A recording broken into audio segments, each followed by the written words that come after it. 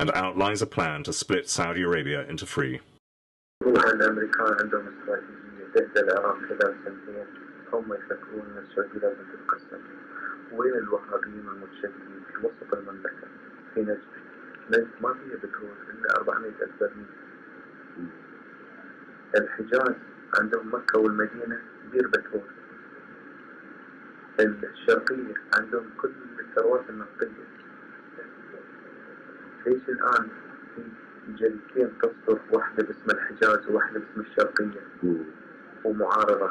بداية الفصل لأنه في الأمريكان أنا شفت رولا الفرنسي اللي كتب التقرير المشهور عن السعودية أنه هذه آه، آه، لابد أنه يشيلون السعود وكذا اللي كان في مجلس الأمن القومي موجود اللي قالوا طردوه كذا.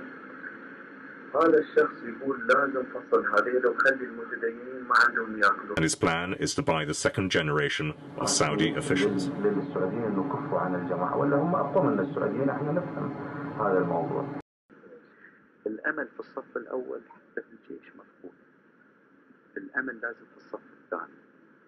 والصف الثاني هذه ناس يروحون أوروبا ناس يروحون كذا واحد يشوف يعطي هذا الضابط بدون ما يطلب منه خدمة يعني يخلق علاقات الشخصية مع هالناس اللي في المفاصل.